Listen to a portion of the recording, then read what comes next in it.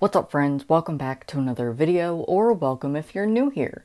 My name's Alex, my pronouns are he, him, and this is my channel, Pucks and Paperbacks, where I recommend queer books, I turn YouTube trends bookish, and I just love to do bookish challenges. And today, I have a library haul. So I'm going to be drinking my coffee while I share my Indigathon TBR, which relates to the library haul because they're the books that I got from the library. If you enjoy this, give it a thumbs up and let's get started. Starting with my Indigathon TBR, if you haven't heard of Indigathon, I will have links down below to the host's announcement videos.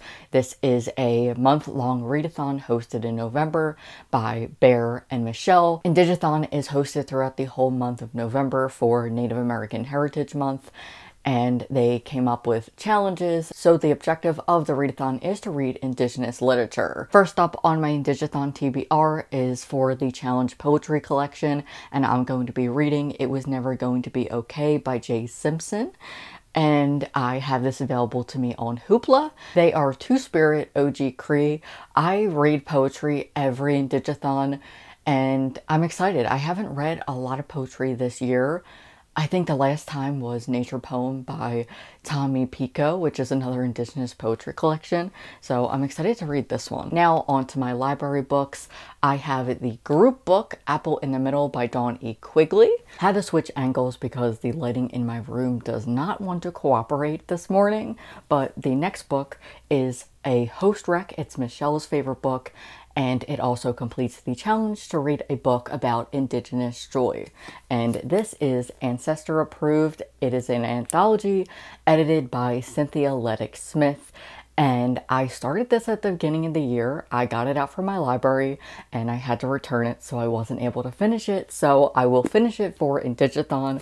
It is a middle grade anthology about a bunch of native families going to a powwow and it is wholesome and nice and I'm excited to read the rest of it. And this also turns into a book haul because a nonfiction book that I really want to get to. I already ordered, but I have not gotten a shipping confirmation yet, which is totally fine. I hope it comes by the end of the month so I can read it for Indigathon, but if not, I'll just read it in December. But I talked about this in my fall TBR, I believe. This is Call Me Indian by Fred Sasakamoose. I really want to read this because it is about hockey. He was the first Canadian Indigenous player into the NHL. So I actually ordered it from an Indigenous owned bookstore. It is Birch Bark Books, which is owned by Louise Erdrich, who is actually a very well-known Indigenous author. So I am just patiently waiting for it to come in the mail and I hope that it comes in time for Indigathon. And if not, I'll just read it next month because I want to read it so bad. next is one of my favorite prompts, Land Acknowledgement. I am living on Lenape land and I tried to get a picture book out from the library, but I went to pick up my holds and it wasn't there so I don't know what happened with that. So I'm going to try and get that by the end of the month. If I can't I'll just do my own research watch a documentary. So that was my Indigathon TBR if you're participating let me know what books you're looking forward to reading. I really hope I get to read Fred Sasakamoose's book by the end of the month. I am just so excited to read it. And now here are the rest of the library books that I picked up. So for the rest of my library haul I picked up the Ex Hex, which is for a video. So I'm excited to read this. My friend Chloe from Brunette Bibliophile had the best pitch for this. She said, it is hocus pocus, but they fuck. That is the funniest pitch I've ever heard, and that just makes me want to read it more. So then I had to pick up Blackout, which is an anthology by um, Dhonielle Clayton, Tiffany D. Jackson, Nic Stone, Angie Thomas, Ashley Woodfolk, my favorite author, and Nicola Yoon. So I'm very excited to pick this one up. I was glad my library had it. Sometimes I just go into the library and I feel like it's a black hole because I was like, okay, I'm just going to pick up my holds for Indigathon, nothing else. And then well, and I had to pick this up because I had it on hold. Um, I was on like a wait list for it. But then I also picked up two other books. I picked up Today, Tonight, Tomorrow by Rachel Lynn Solomon because I think it'll be good for book research.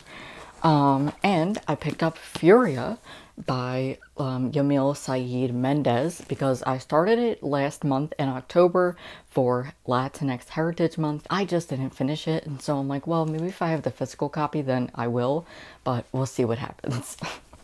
And um, that's it. Those are all the books I got from the library. And now I'll just show you the one book that I did get sent to me. And then I have a couple pre-orders that I would like to just share. If you saw my end of the year book tag, I already mentioned these, but I pre-ordered House Fires by Connor Franta, which I will be reading for a vlog.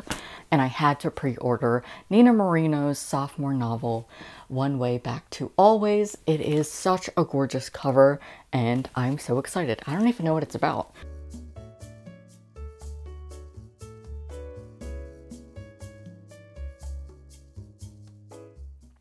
Oh, I love this. So it is about two friends, Lou and Sam, who have kind of grown apart. And Lou finds a bucket list that they wrote and she realizes that they didn't finish it. And so I believe that that is how they both rekindle their friendship. Nina Moreno is a great YA contemporary writer. I love Don't Date Rosa Santos. It's one of my favorites, and so I'm excited to read this one. And last, I have a trans children's book that I ordered, and I already unboxed it in my Instagram Followers Control My Weekend video, so that'll be up here if you want to watch it. Um, but this is I Am a Prince by Damian A. Lopez, and it is a trans owned Voices children's book. And I'm reading this off their Instagram, but November is Transgender Awareness Month, and for the entire month of November, 100% of proceeds for purchases of I Am a Prince book through our website will be donated to trans slash non-binary identified person to assist with their gender affirming process. So I'll have the link down below if you want to help out with that. And now I have the last book that was sent to me by Soft Skull Press and this is actually a really cool one. Um, it is called Pilot Imposter, and it's a poetry collection kind of thing. I love it. It's so cool. So thank you so much to them for sending me this. I'll insert some b-roll of this because it's so cool. It is about leadership, um, or like failures of leadership, basically. So thank you to Soft Skull Press for sending me this. The art is so cool and I'm excited to read it. If you would like to purchase it or just look at the book, add it to your TBR, I'll have a link down below. So that is it for my Indigathon TBR library haul and book haul. Thank you for watching. Thank you for supporting. I have a Patreon if you'd like to support me further. Feel free to hit subscribe if you haven't, and I will see you in the next video very soon. Bye.